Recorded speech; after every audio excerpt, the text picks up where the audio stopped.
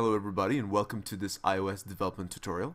In this video we're going to be working with something called UI action sheets. So if you're wondering what that what a UI action sheet is, well let's take a look at an example app. So here's essentially what we're going to be building in this particular tutorial. I've got a simple little application that has two UI text fields. There's number one, number two. And when I tap into these fields, I'm allowed to um, essentially enter uh, an integer value. I can jump in here and enter another integer value. And then I can hit the go button and this presents me with a UI action sheet. So the action sheet is essentially used to present a user with a set of alternatives uh, in terms of how they want to proceed with a given task. Uh, so you can do action sheets for a bunch of different stuff. Uh, typically, you may use an action sheet if you want the user to confirm a potentially dangerous action, so maybe they're deleting something. Um, as you'll see here, the, UI action sheet uh, oftentimes will have a text um, title. It'll also have a bunch of different buttons, and we can, of course, add or remove these buttons as we so desire. And um, there's usually uh, a cancel button, so we can just dismiss the action sheet. Uh, and in this particular app, you'll see that we're creating a UI action sheet with three options. So that's what our app does. It gives the user the option to either add the two numbers that they've entered, subtract them, or just clear the input field. So if I hit add, you see what happens here is a simple little label appears and it says, here's the sum of these two numbers. If I hit go again, I can hit subtract. That changes to the difference. And if I hit go again, I can this time do clear and that should clear the uh, particular uh, UI text fields. Now I probably should have also cleared these values, but that's okay. Um, we can do that within the tutorial if we so desire. Um, I can also tap away uh, into the space here and you'll notice that the keyboard disappears. Right, so this is essentially what we're going to build. We're going to build this UI action sheet. Now, when you're building UI action sheets, you should also know that you can technically present them from anywhere. You can present them from a toolbar, from a tab bar, uh, it can be from a you know button bar, uh, it can also be from a view, which is what we're doing in this particular example. And um, they the way they're presented uh, varies just a little bit uh, depending on whether you're building for uh, the iPhone or the iPad. In this particular example, we're going to be working with the iPhone and we'll see how we can build these UI action sheets. So let's get started. Um, I'm going to jump back into Xcode here and I wanted to show you real quick the version of Xcode that I'm currently running which is version 4.5.1 um, there may be a slightly newer version available, but I don't think it's public yet. It might be just sort of in beta. So version 4.5.1 or later should work just fine if you are following along. All right, so let's get started. Um, so I've already gone to Xcode and gone File, New Project, and I've got under iOS applications, I'm going to be selecting the single view application. That's just a nice basic template, and I'm going to on my desktop create a project and we'll just call it UI action sheet YT and notice that I've got the device set to iPhone. I've also got use automatic reference counting checked. I'm going to now hit next and that'll create my application here. I'm just going to create it on the desktop. Hit create and give Xcode whoop, a couple seconds to create our project and then of course index the files that are within that project and we'll see it's doing that here. Give it a couple seconds to finish that up and looks like it is just about done here. Okay. Right so if we expand this project you'll notice that it's got a pretty simple set of files uh, app delegate a header and implementation file the view controller files uh, including the nib file. So our first step of course is to jump within the nib file and set up our interface so if you remember from our sample application, what we had was essentially you two text fields. So let's drag those onto our screen here. So I'm going to select that and drag another one. So we put up our two values.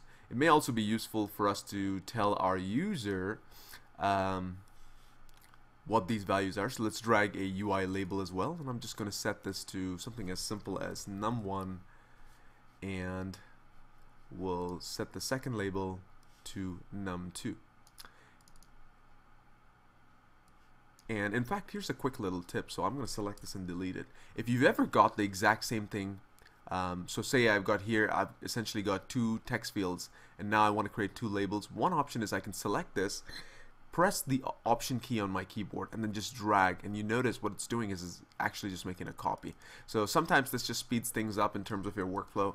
Um, so you can do that, or if you prefer, just do it the traditional way and drag and drop one on screen. Okay, so we've got num1 and num2 set up, no problem there. Um, what we want to do, let's just as a matter of practice here, is if I select this UI text field and I go over to the assistant, uh, I'm not sorry, not the assistant editor, but the attributes inspector. Um, and if you don't see that, it's probably because your particular view is hidden. So the utilities view is where we want to be. If I turn that on, you see that this column appears. And then if I select this particular text field, if I come down here, you'll notice that there's a section here uh, with the value for keyboard. It's currently set to default, but perhaps I want to set that to be a number pad because I only want the user to enter numbers. So I can easily set that value and now when the user taps into that particular input field, the keyboard that they're shown is the numeric keyboard. So we say number pad for both of those, Command S to save.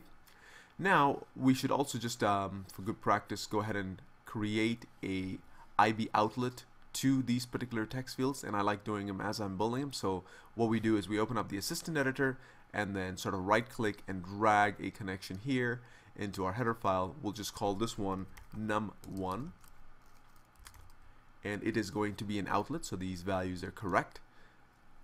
Second one will be num2 so let's drag a connection here. We'll call this num2 and we'll hit connect as well. Then let's go back to our standard editor, Command S to save, and we are good to go there. Alright, so uh, from here what we want to do next is remember what we're going to do is add these two values and then display the result up top. So of course to add them we need to create some kind of a method. So what we'll do here is we'll drag a round rect button onto our view and I'm going to change this button's text to just say go And then with that done, what I'm going to do is jump back to this um, assistant editor and I'm going to drag a connection here and this time I'm going to create an action. And then I'm just going to as part of this action uh, give it let's say let's call this IB action. Um, what do we want to do? Uh, we'll call it show. Uh, what do we want to say here? Show UI uh, blah blah blah action sheet. Alright very good. Hit connect and that creates our IB action right there. Give it some space. Command S to save. Jump back to our standard editor. Now we now need um, really what I'm going to do is create two UI labels. So what I will do here is I will create a UI label here. Let's maybe pull it over to this side just a little bit and give it some room.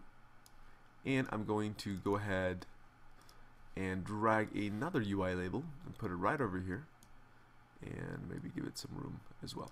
So what we're going to do here, of course, is create two UI labels, and I'm going to clear this text that's already in them. And the reason we want these two UI labels is because I want to display sort of a different message um, depending on what the user has selected within the action sheet. And so, for example, if they're if they've opted to add the two numbers together, I can say something like sum is and then display the value and similarly if I if the user elects to um, get the difference between the two numbers then I can say differences or diff is and then put that value here. So that's really what we're going to use these labels for. So again we open up our assistant editor and we will create properties. Whoop, Let's drag a connection here. And we're going to call this one message. So UI label. And we're going to create another one here and we'll call this one result also an IB outlet connect and we should be all set. Very good. Alright so let's jump back here. Command S to save. Now let's jump back into our view controller's header file and you'll notice that of course there's all these properties that are created. I want to point out a little bug that I seem to be experiencing with this new version of Xcode and that bug essentially deals with how you create uh, these properties. So if you remember, we were in our view controllers uh, nib file and we basically dragged a connection or to this particular header file. Now, the problem there is that it's supposed to create a property and add synthesize statement as well. In my version of Xcode, ever since I've done this upgrade to 4.5.1, I've noticed that it's not creating the synthesize statements anymore, uh, which is a problem because if we want to be able to use the setter and getter methods, we need to be able to use that. So just FYI, if you uh, run into that issue, you know, it's pretty simple fix. You just need to come back to your implementation file and do the at synthesize. If I can type here, uh, at synthesize, and we just need to synthesize all the different uh, properties we've created. So num1, num2, message, and result. So we can just do that all on one line, really. So we say num1, num2, message, and result. Command S to save, and now we actually have our setters and getters, and we can definitely use them within our implementation file here.